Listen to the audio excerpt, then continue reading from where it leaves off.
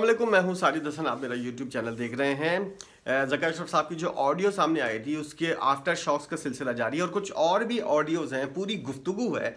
इसका ना एक पार्ट था जो बताया गया था कि मोहम्मद रिजवान को किस तरह कैप्टन नहीं बनाना नसीम शाह शाइन शाह आफीदी को किस तरह कैप्टन बनाना है, बाबर आज़म ने क्या क्या कुछ किया, इस वाले से जका अशरफ साहब उस पार्ट के अंदर बात कर रहे थे, लेकिन ओवरऑल जो है, पूरी ऑडियो जो है, उसके अंदर बहुत सारी चीज़ें हैं। यकीनी तौर पर आप लोगों की नज़रों से नहीं गुजरी होंगी, लेकिन उसके आफ्टर शॉक्स का सिलसिला जारी है। जकर साहब और मोहम्मद हफीज़ जो है, उनकी बात हुई है और मोहम्मद हफीज़ का ये कहना है कि ऐसे वक्त में ये वाली ऑडियो सामने आना जो है, अब वो भी कह रहे हैं जका अशरफ साहब से कि ऐसे वक्त में ऑडियो क्यों सामने आई है? हफीज़ जैसे घंटे आदमी को उसकी इतनी सी अकल जो थी, वो भी घुटनों के अंदर है, या तो प्रोफेसर पता नहीं कौन सा उसको समझते हैं लोग प्रोफेसर जिसने ऑडियो लीक की है, वो जक्का शरफ नहीं है। वो कोई और है। ये जक्का शरफ के खिलाफ जारी है। बाबर आज़म के भी खिलाफ जारी है। आप जक्का शरफ से शिकायत करते हुए नज़र आ रहे हैं कि ये ऑडियो क्यों लीक हुई है? उससे पूछो जाहिल आदमी जिसने लीक की है ये वाली ऑडियो और जिसकी वजह से सारे मामला रायता फैलाने वाला जो है, ये उसका किया धरा है। जका शरफ इतना बड़ा बेवकूफ़ नहीं है कि वो अपनी ऑडियो लीक करेगा और इस तरह की सेंसिटिव बातें जो हैं, वो लीक करने के बाद जो है, उसकी सफाइयाँ पेश करता रहेगा। उसके बाद हुआ क्या? रिजवान जो है, उनके बारे में बहुत सी चीज़ें सामने आई हैं और लोग जो हैं, वो अब सवाल उठा रहे हैं। मोहम्मद हफीज़ रिजवान की मीटिंग भी हुई और उसके बाद जब ये ऑडियो सामने आई तो बाबर आज़म और रिजवान से भी मोहम्मद हफीज़ की बातें हुई। रिजवान को कैप्टन क्यों नहीं बनाया? कितना बड़ा ग्रुप है बाबर आज़म का? ये वाली सारी चीज़ें याजू कंपनी से कौन रिलेटेड है?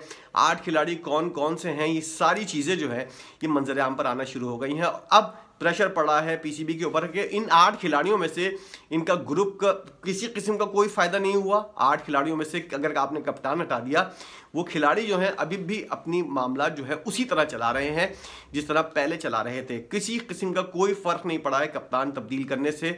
उन आठ खिलाड़ियों का टैका जो है, वो उसी तरह कायम है।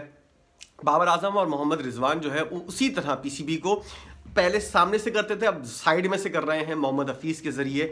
मोहम्मद हफीज़ जैसा किरदार जो है पीसीबी के अंदर, वो जो है, वो इंतहाई गलत अपॉइंटमेंट है पाकिस्तान क्रिकेट बोर्ड की और बहुत ज़्यादा इख्तियार दिए गए हैं इसको, जिसकी वजह से पाकिस्तान जो है, वो बहुत ज़्यादा नुकसान बर्दाश्त कर रहा है इस जाहिल आदमी की वजह से। और ये जो शख्स है, जिसकी वजह से तमाम तर मामला जो हैं, वो ख़राब हो रहे हैं।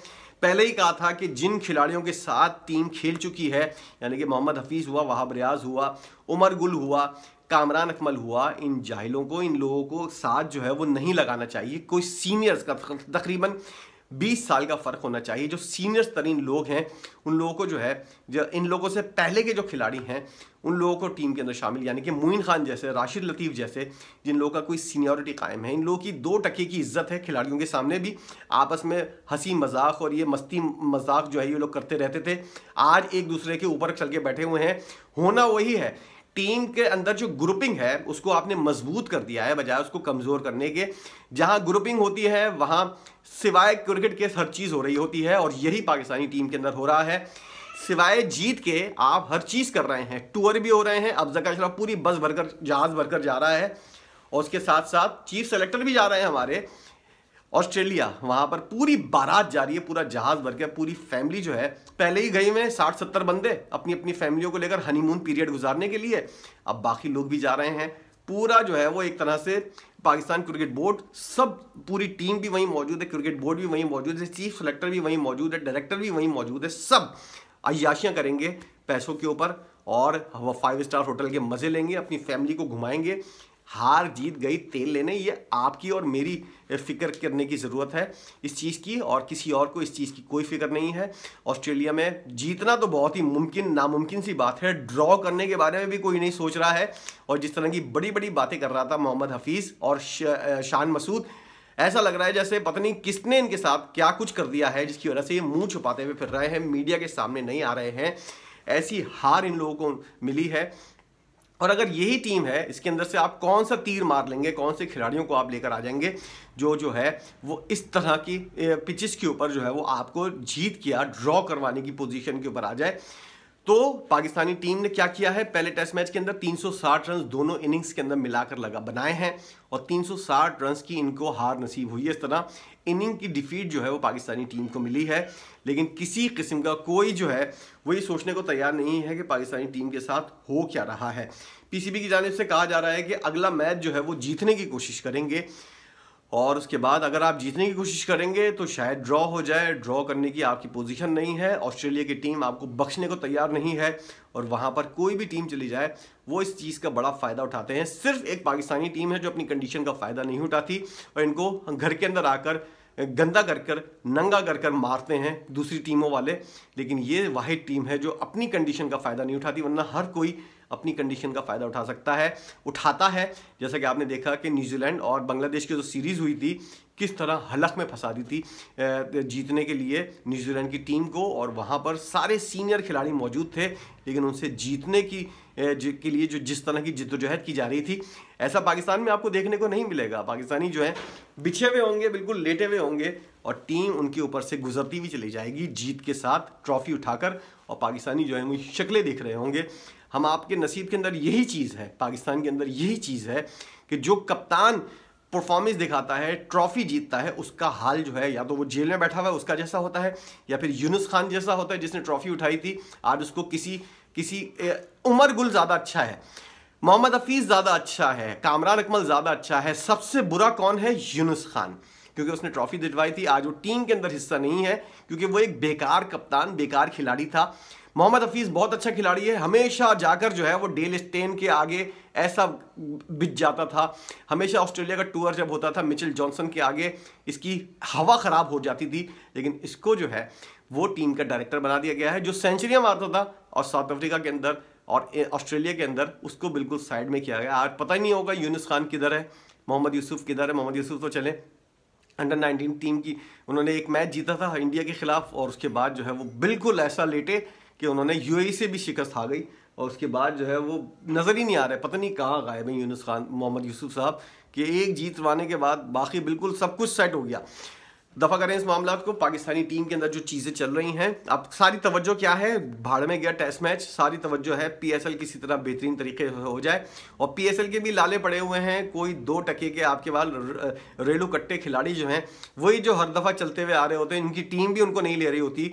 वो लोग जो हैं वो पीएसएल के अंदर मौजूद हैं और न्यूजीलैंड के खिलाफ सीरीज़ होगी अब पाकिस्तान की। उसके अंदर देखिएगा बाबर आज़म जो है और मोहम्मद रिजवान जो है, वो जिस तरह चलेंगे चलेंगे। लेकिन जो ऑडियो लीक का मामला है, उसके अंदर मोहम्मद रिजवान का जो मामला सामने आया है कि मोहम्मद रिजवान डिज़र्व करता था टी ट्वेंटी और वनडे का कप्तान बनना। उसको कप्तान नहीं बनाया गया और एक बैड चॉइस मेरी नज़र के अंदर एक बैड चॉइस है शाहिन शाह आफरीदी जैसा खिलाड़ी जो है, वो टीम का कप्तान। इससे अच्छा रिजवान को ही बना देते भाई। अगर इसी तरह इन लोग की कोई ग्रुप जो है, वो किसी तरह टूटने में तो नहीं आया ना ना ही कोई फ़र्क पड़ा।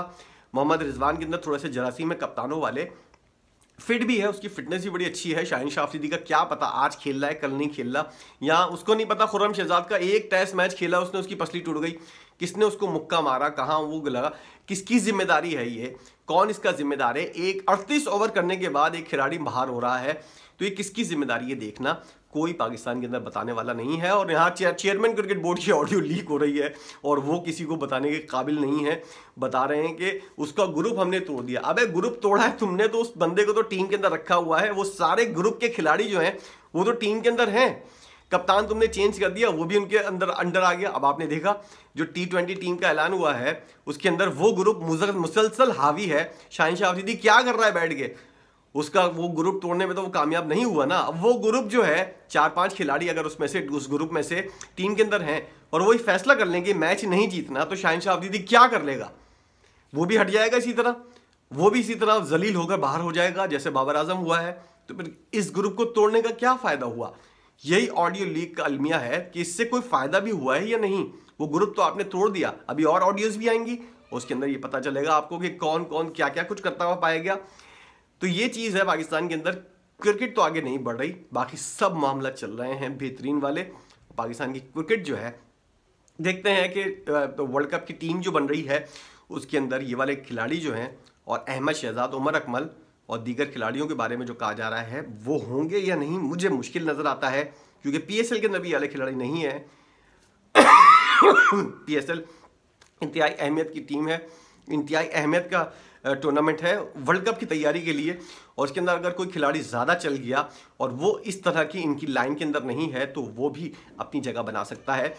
इसलिए देखते हैं कि क्या कुछ पॉजिटिव होता है। मुझे कुछ होता हुआ तो नज़र नहीं आ रहा। अगर आपको कुछ नज़र आ रहा है कि पाकिस्तान क्रिकेट के अंदर कुछ पॉजिटिव हो रहा है तो ज़रूर मुझे भी बताइएगा ताकि मैं भी ज़रा सा थोड़ी देर के लिए खुश हो जाऊँ। पाकिस्तान के अंदर क्या हो रहा है? पाकिस्तानी टीम जो गई हुई है इस वक्त ऑस्ट्रेलिया किसी किस्म के कोई ऑस्ट्रेलिया, कोई इनको, इनके ऊपर रहम खाने को तैयार नहीं है।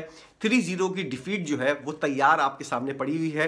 या तो आप टीम को नहीं भेजते, आपके पास हमेशा जो है, वो बांग्लादेश और श्रीलंका जैसी टीमें सामने नहीं आएँगी। आपके पास ये वाली टीमें भी आएँगी और आपके पास तैयारी का मौका नहीं है। बिल्कुल घंटा खिलाड़ी, आपके बिल्कुल ऐसे खिलाड़ी एवरेज खिलाड़ी एवरेज से भी कम खिलाड़ी जो श्रीलंका और बांग्लादेश को बड़ा मुकाबला करके मार सकें। इनके अंदर ये सकत नहीं है कि ये ऑस्ट्रेलिया को हरा सके। उसके बाद आपका टूर्नामेंट आएगा पीएसएल और उससे पहले जो है न्यूजीलैंड की सीरीज़ है। वहाँ क्या तीर मारते हैं खिलाड़ी, ये भी देखना पड़ेगा क्योंकि मामला जो है वो काफ़ी ख़राब नज़र आ रहे हैं। ऑस्ट्रेलिया के अंदर जो टी ट्वेंटी वर्ल्ड कप हुआ था, उससे पहले पाकिस्तान मुख्तर सीरीज़ के लिए न्यूजीलैंड गया था और वो सीरीज़ जो है वो पाकिस्तान ने जीती थी। अब देखते हैं कि ये वाली चीज़ जो है, ये वाली सीरीज़ जो है, पाँच मैचों की सीरीज़ जो है, वो शाहिनशाह आफीदी का एक बहुत बड़ा इम्तहान है कि पक्का करना है इनको अपने आप को कि वर्ल्ड कप के लिए ये सलाहियत रखते हैं कप्तान बनना की, या फिर वर्ल्ड कप के लिए हमको एक नया कप्तान ढूंढना पड़ेगा। तमाम तर सूरत हाल के ऊपर, ऑडियो लीक वगैरह ये सब, इस तमाम तर सूरत हाल के ऊपर आपकी अपनी क्या राय है, ज़रा ज़रूर बताइएगा। अपना, अपने दिल की बात और अपने दिमाग के अंदर जो कुछ भी चल रहा है शेयर कीजिएगा कि आप सूरत को किस तरफ़ जाता हुआ देख रहे हैं। वीडियो देखने का बहुत शुक्रिया।